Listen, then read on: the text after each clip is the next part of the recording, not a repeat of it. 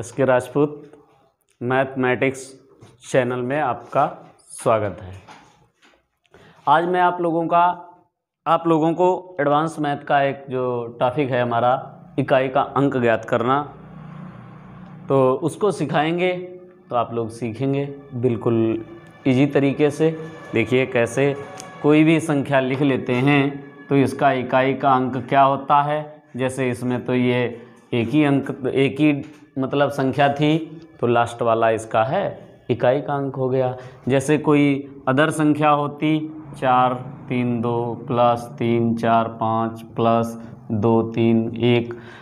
अगर आपसे पूछता है इसमें इकाई का अंक क्या होता है तो हम क्या करते लास्ट वाले अंक जोड़ लेते, पाँच, दो, सात, और सात और एक, आठ। इस प्रकार से हमारा ये इकाई का अंक निकल कर आ जाता है।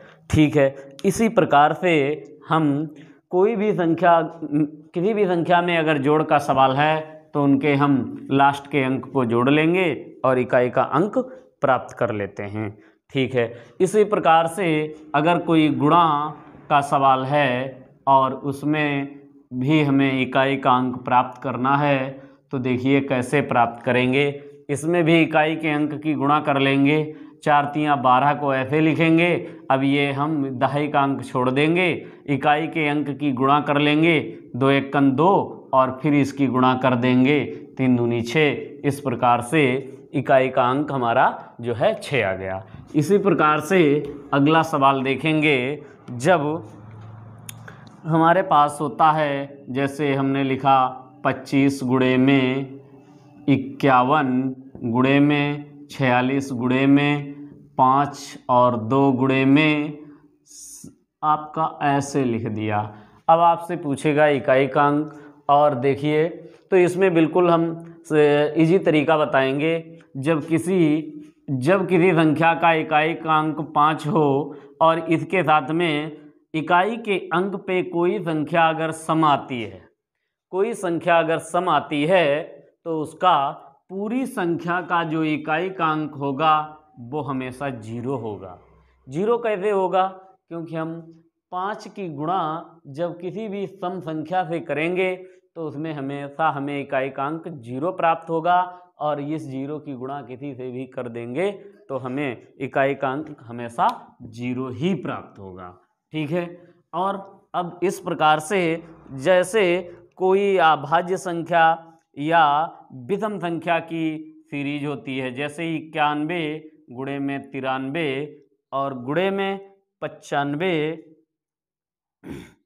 गुड़े में पचानवे गुड़े में सत्तानवे डाट डाट इस प्रकार की अगर कोई संख्या चलती है, कोई सीरीज़ चलती है तो उसमें हमेशा इकाई का अंक पाँच होता है। जैसे आप क्या करोगे? तीन इक्कन तीन तीन पच्चे पंद्रह अब पंद्रह आ गया, पाँच सत्ते पैंतीस, फिर आ गया। इस प्रकार से हमें ऐसी सीरीज़ में हमेशा इकाई का अंक जो है, पाँच प्राप्त होता है तो पाँच प्राप्त होगा हमें इकाई का अंक ठीक है, अगला सवाल देखेंगे। जैसे हमने लिखा 135 गुड़े में हमने लिख दिया 136 और गुड़े में लिख दिया 170 अब आपको इकाई का अंक प्राप्त करना है। कैसे? हम इन संख्याओं की गुणा करेंगे। तो जो है इकाई का अंक क्या आएगा?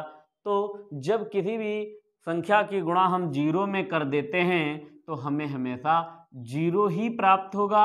इसलिए यहाँ पे इस संख्या में इकाई का अंक ज़ीरो होगा। ठीक है?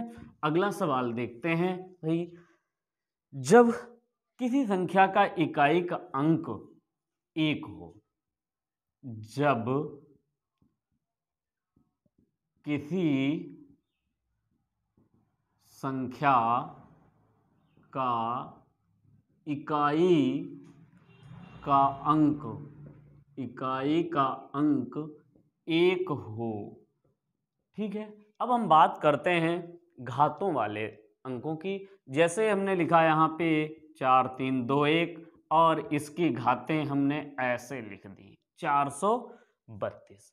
अब हमने संख्या लिखी थी चार हज़ार तीन सौ इक्कीस और इसकी घातें थी चार सौ बत्तीस। अब देखिए, जब किसी भी संख्या का इकाई का अंक एक होगा और उसकी घातें कुछ भी हों, घातें सम हो, चाहे विषम हो, कितनी भी हो, इसका इकाई का अंक हमेशा हमेशा एक ही रहेगा। ठीक है? जैसे किसी संख्या का इकाई का अंक एक है और उसकी घातें कितनी भी हों तो हमेशा उसका इकाई का अंक एक रहेगा। इसी प्रकार से किसी भी संख्या में जो है इकाई का अंक, इकाई का अंक ज़ीरो हो तो उसका भी घातें कितनी भी हों, इकाई का अंक हमेशा ज़ीरो ही रहेगा। ठीक है? इसी प्रकार से किसी भी संख्या में इकाई का अंक पाँच है। इकाई का अंक पाँच है तो घातें कितनी भी हों, हमेशा इकाई का अंक पाँच ही रहेगा। इसी प्रकार से क्या करेंगे? जब किसी भी संख्या का इकाई का अंक छः है तो इसमें घातें कितनी भी हों, सम हो चाहे विषम हो तो हमेशा इकाई का अंक छः ही रहेगा। ठीक है? चलिए भाई, अगला टॉपिक आपको बताते हैं, क्या होता है? जैसे हमारे पास चार और नौ, जैसे चार और नौ, इसमें थोड़ा डिफरेंस रहता है, इसमें थोड़ा डिफरेंस रहता है, वो कैसे? देखिए, जब किसी भी संख्या का इकाई का अंक चार होगा, इकाई का अंक चार होगा या किसी भी संख्या का इकाई का अंक नौ होगा तो यहाँ पे हम घाते देखते हैं। क्या देखते हैं? घाते देखते हैं, जैसे हमने लिख लिया इकाई का अंक यहाँ चार है, और यहाँ पे हम घातें देखते हैं, समघात। ये लिख देते हैं, समघात। और ये लिख देते हैं विषम घात ये हमने लिख दी है विषम घात जब इकाई का अंक चार हो और उसकी घातें जैसे हमने ये लिख दी, ये लो भाई, ये समघात है। जब समघात होंगी तो इकाई का अंक हमेशा छः होगा। इकाई का अंक हमेशा छः होगा और किसी संख्या का इकाई का अंक चार है और उसकी घातें सम विषम है, विषम घात में इकाई का अंक हमेशा विषम घात हमने अब कर दी है तो इसमें हमेशा जो है इकाई का अंक चार आएगा। समझे मेरे प्यारे दोस्तों? जैसे हमने बताया, जब किसी संख्या का इकाई का अंक चार होगा और उसकी घातें विषम होंगी तो उसका हमेशा इकाई का अंक जो होगा वो चार आएगा। और जब उसकी घातें सम होंगी तो इकाई का अंक हमेशा छः आएगा। ये कैसे आता है? ये भी देख लीजिए। जैसे हमने लिखा, ये हमने चार लिखा। चार की घात एक लिखा। चार की घात एक विषम संख्या है? भाई, चार की घात एक विषम संख्या है? अब इसका हमने हल करेंगे तो चार एक कन चार। भाई, हमने यही तो बताया, जब विषम घात होगी तो इकाई का अंक चार। आगे बढ़ते हैं, चार का वर्ग कर दिया। भाई, चार की घात सम आ गई। अब ये हो जाएगा चार चक्कू सोलह। भाई, हमने यही तो बताया समघात में इकाई का अंक छः आ जाएगा। और आगे बढ़िए, चार की घात तीन, ये विषम हो गई। चार चक्कू सोलह चक्कू कितना? चार चक्कू, सोलह चक्कू, चौंसठ। भाई घात विषम है इकाई का अंक चार है। घात विषम है इकाई का अंक चार है। ठीक है? इसी प्रकार से नौ में देख लेते हैं। ये हम लिख देते हैं समघात और ये लिख देते हैं विषम घात अब देखिए, यहाँ पर हमने आपको बता दिया, जब इसकी समघात होंगी चार तीन दो ज़ीरो, जब इसकी समघात होंगी तो इकाई का अंक हमेशा एक होगा। जब समघातें होंगी, किसी भी संख्या का इकाई का अंक नौ है और उसकी घातें सम हैं तो उसमें हमेशा इकाई का अंक एक होगा और अगर घातें विषम हैं, विषम घात में इकाई का अंक हमेशा नौ होगा। ठीक है?